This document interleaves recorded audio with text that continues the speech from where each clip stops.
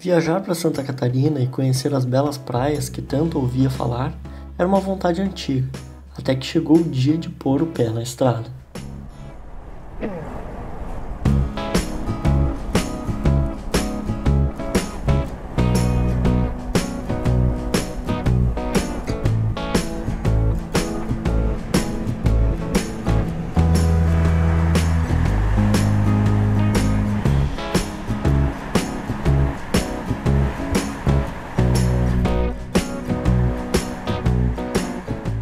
Em julho de 2019, eu e minha irmã resolvemos fazer uma viagem de trailer, tendo a cidade de Torres, no Rio Grande do Sul, como primeiro destino.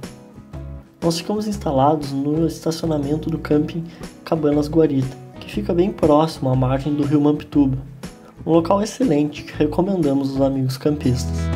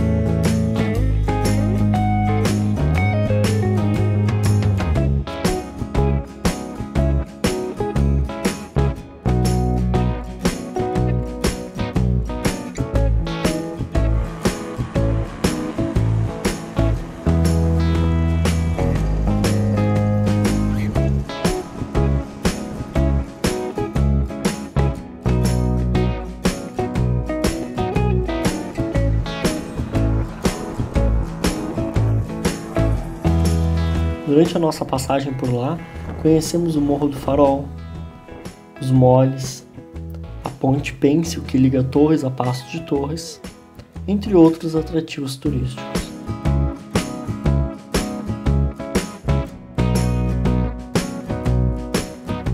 Dois dias após a nossa chegada, resolvemos partir seguindo nossa viagem em direção a Florianópolis, Santa Catarina. Pernoitamos no caminho em Laguna, e na manhã seguinte chegamos ao nosso destino.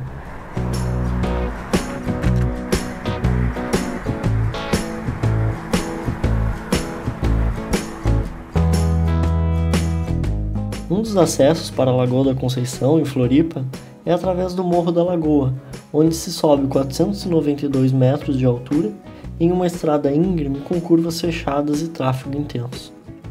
Na ocasião, subimos o morro atrás de um caminhão carregado que andava tão devagar que eu tinha que andar em primeira marcha em rotação muito baixa, o que judia do carro com o peso de um trailer a reboque. Então, se for subir o morro da Lagoa da Conceição, lembre-se de mim e mantenha uma grande distância do veículo da frente.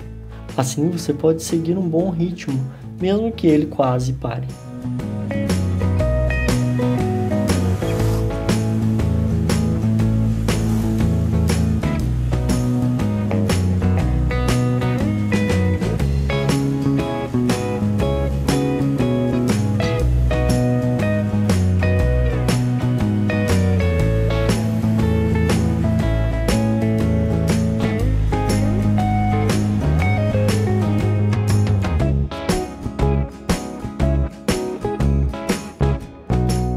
Ficamos três dias na pousada e camping Lagoa da Conceição, que possui ótimas instalações.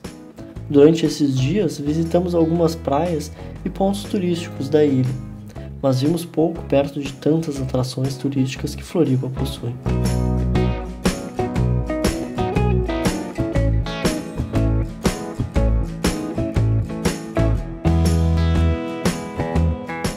Santa Catarina e seus encantos nos espere que certamente voltaremos.